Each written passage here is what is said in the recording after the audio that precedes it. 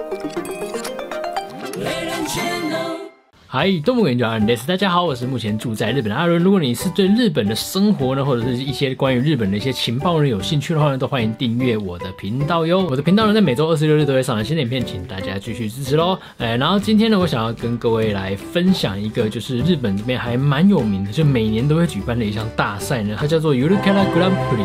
然后这个呢，就是呃吉祥物，简单来讲就是吉祥物大赛。然后他们每年呢，都会由日本的各地呢，就是会你可以去登记参选，然后最后。后呢，就是最终呢得票最高的人呢，就可以得到当年的第一名。就像大家耳熟能详的熊本熊呢，库马蒙呢，他就是在二零一一年得到冠军迪哦。然后今天想要来跟大家分享的就是日本今年二零二零年的这个吉祥物大赛的前十名分别是哪十只吧？首先呢是第十名呢，就是来自千叶县的吉念甲。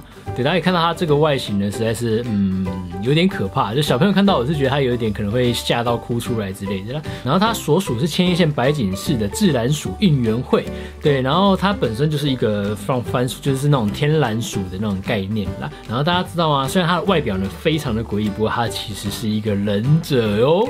接下来是第九名，第九名呢就是新系县的 H 拱，然后大家看到外形非常可爱，是一个那个 Oni，就是那种日本的鬼的造型的一个 c a r a c t e r。然后据说呢，它也会因为呃依照它所出席的活动不同，它会更换身上的衣服，也算是一个嗯，我是觉得它的外形还蛮可爱的啦。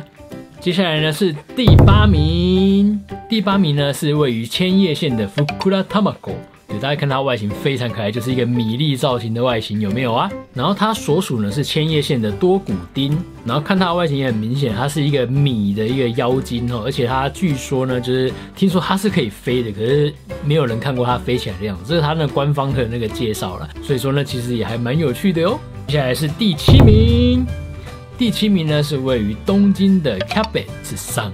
对，然后他可以看到他的外形，其实他的头发就是像是那种高丽菜的那个菜叶的那种感觉，有没有啊？发想呢，就是那个 cabbage 高丽菜跟猫咪的一个融合体，而且据说呢，它非常的会唱歌哟。而且不要看它好像很可爱的样，其实它是两个就是那种牙的高丽菜的妈妈。它们这设定其实还蛮有趣的了。然后我就觉得它的外形呢，看起来也算是蛮温柔的感觉。然后它一直拿着一个麦克风，不知道是不是一直在唱歌的一个状态。其实有有机会的话，还是蛮想要看看它本人是长什么样子的哦。接下来呢是第六名，第六名呢是大阪府的 Toyono。对，然后它的外形很可爱，然后有两个小辫子，非常的可爱哦。然后它的所属呢是大阪府的风能丁，对，然后就是跟它的名字其实谐音其实蛮像的，Toyono 的那种一个谐音啦。然后据说它是从蒲公英的花里面所生出来的。然后现在虽然说头上有两朵花嘛，不过说说不定之后呢会变成那种蒲公英就会飞走。而且据说这样飞走了之后，它也会慢慢的就是去撒授粉嘛，所以它的同伴呢也会因为这样慢慢增加哦。听起来是不是有点诡异啊？然后接下来呢是第五名，第五名呢是高知县的安田狼安塔罗，对，然后大家看到它的外形就是一个鲶鱼的感觉，它的嘴唇非常的厚，然后脚是那种鱼鳍的感觉，有没有啊？然后据说呢，它会把那个天蓝鼠呢背在身上走来走去的样子，嗯，这样是不是它就是背着那个刚才第十名的那个纪念家的感觉啊？而且据说呢，他会把就是有那种茄子啊跟番茄的那衣服呢穿在身上，然后性格呢是比较那种天然浓比，就是那种慢慢的那种感觉，而且也喜欢一些那种下酒菜呢跟酒，然后他会为了让安田丁呢更加的有元气呢，参加各种不同的活动哟。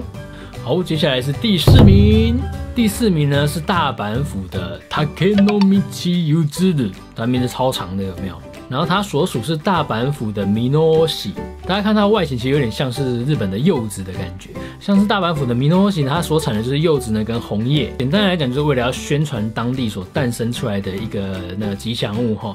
然后而且它呢在每年的排行都算是还蛮前面的，所以说不定现在虽然说今年呢是第四名，说不定接下来会慢慢的往上升，说不定哪一年呢会变成第一名也不一定哦。好，接下来是第三名。第三名呢是位于埼玉县的赤狗，然后它所属呢是埼玉县的赤嘎西马西。啊它的外形呢感觉上也是非常讨喜，也非常有元气的感觉。然后它在今年的那个就是介绍里面说，它今年也许是它最后一年参赛，也不一定哦。不过呢，今年呢它就拿到第三名哦，希望它呢还能够继续参赛，因为我觉得它的外形基本上看起来还蛮可爱的。对，就是一只很很活泼的那种龙的感觉，大家觉得怎么样呢？接下来是第二名，终于到了最后两名了哈。第二名呢是大阪府的 Urunaki。对，它外形非常可爱，是一只狗狗的形状。不过它其实呢是他们呃另外就大阪府人的另外一个角色，叫做 Inunakin 的一个分身。然后 Inunakin 呢是比较像是一般我们一般人正常大小的感觉啦。然后这个 Inunakin 呢就是比较可爱的版本的那种感觉。然后它所属呢是大阪府的全卓野市。不要看他们家，他们前几年都拿到非常棒的名次，只是比较不一样的地方呢是前几年呢这个 Inunakin 跟 Urunakin 他们是两个。是合成一个的情况之下去报名的。不过今年呢是只有那个 Urunakin 就比较可爱的这个版本来参加这个比赛，然后也是拿到了第二名，算是非常非常的不容易。我觉得如果这样相信，说不定接下来顺利的话，也许明年他也是可以拿到第一名，也不一定哦。对，然后目前呢，讲到现在，大家有没有发现，就大阪的？大阪的入围的，真的入选的那个角色，真的是还蛮多的哦。其实它这个你是各地的，你如果是公司，应该是公司也可以，就只要你有一个像这样子的吉祥物，你就可以去申请报名，就可以线上让人家去投票。所以基本上你有创造出来这个角色，它有代表某一个地方的话呢，你都可以去线上报名，然后并且让它参选。对我就觉得这也是还蛮有意思的。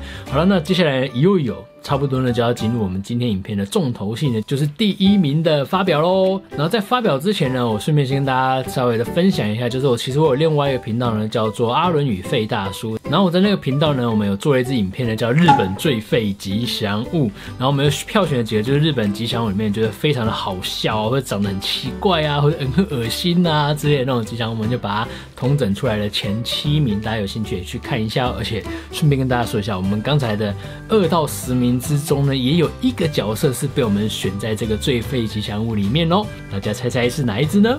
好，荣登日本二零二零年的吉祥物第一名的角色就是位于岩手县的塔卡塔诺 u 美加。对他的。它的外形大家有没有看到？非常非常可爱，而且它呢，我稍微看，因为它这边介绍呢有点稍微长一点。然后它的所属呢是陆前的高田市，就是岩手县的。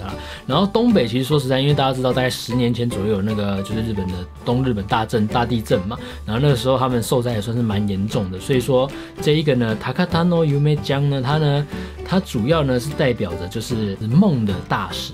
然后他头上的那一颗星星呢，是象征的，就充满希望的光，会引导着这小孩呢往更加安全的地方前进的那种意思哦。然后它背后呢有两个小翅膀，就是可以这样飞来飞去的那种感觉，非常的可爱哦。身上所带的那个包包里面呢装了大家的那种梦想，所以它会到处呢去散播梦想那种感觉。